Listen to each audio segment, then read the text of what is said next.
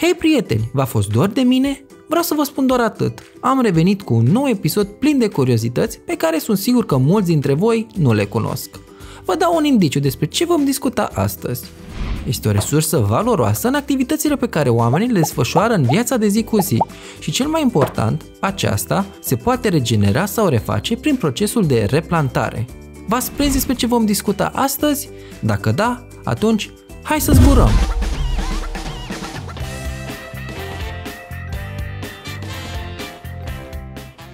Pădurile produc oxigenul necesar menținerii vieții pe pământ în toate formele ei, motiv pentru care acestea poartă denumirea de plămânul verde al Terei, planetă pe care locuim noi.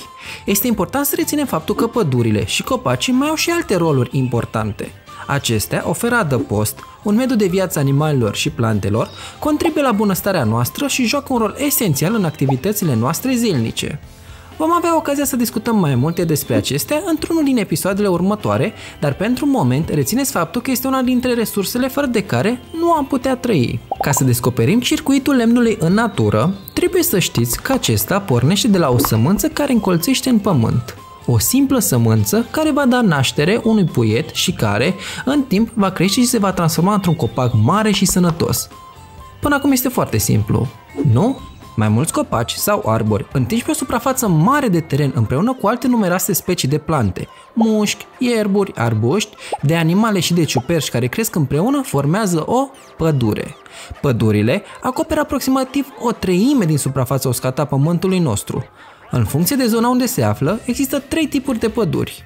Pădurea boreală, în zonele reci ale continentelor, pădurea temperată, cum găsim și în România, pădurea tropicală veșnic verde în zonele ecuatoriale.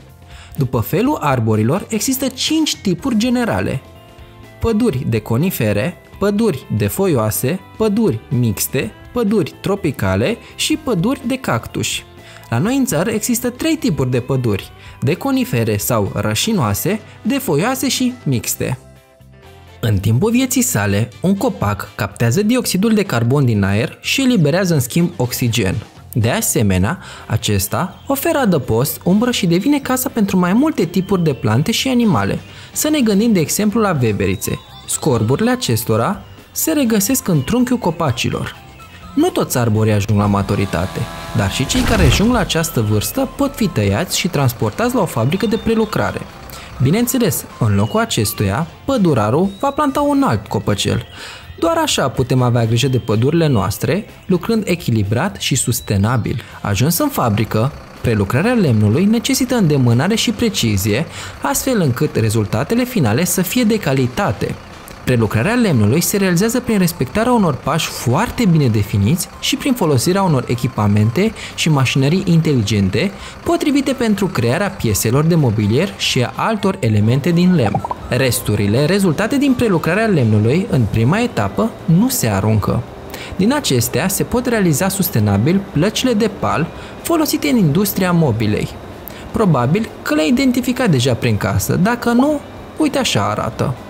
Am mai aflat un secret. Eger România deține una dintre puținele instalații de reciclare a lemnului din România. Practic, prietenii mei reciclează lemnul de mobilier vechi, plăcile de pal, chiar și masa bunicii pe care aceasta dorește să o arunce. Astfel, lemnul este refolosit pentru a produce noi plăci de pal din care vor realiza diverse piese de mobilier. Ce înseamnă asta? Mai puțin lemn proaspăt tăiat. Deci, mai pe scurt, reușesc să-și desfășoare activitatea într-un mod sănătos și benefic mediului înconjurător. Wow! Tocmai am adăugat pe lista mea de supereroi. Cea mai importantă întrebuințare a lemnului la nivel mondial o reprezintă funcția de combustibil. Arderea lemnului oferă multă energie și căldură și nu în ultimul rând este important să reținem că lemnul este o materie primă necesară hârtiei. Aproape jumătate din lemnul tăiat în toată lumea este folosit la încălzire și prepararea hranei. Acesta este folosit și la obținerea hârtiei, dar și la construcția de case.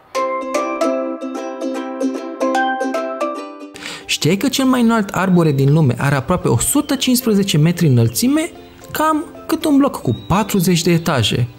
Dragilor, acesta a fost episodul de astăzi. Eu am fost Lităledu și ca de fiecare dată am zburat. Mulțumim Eger România pentru aceste subiecte minunate. Până data viitoare, rămâneți curioși! Ah, și nu uita de un like, share și subscribe. Eu am fost Little Edu și am zburat.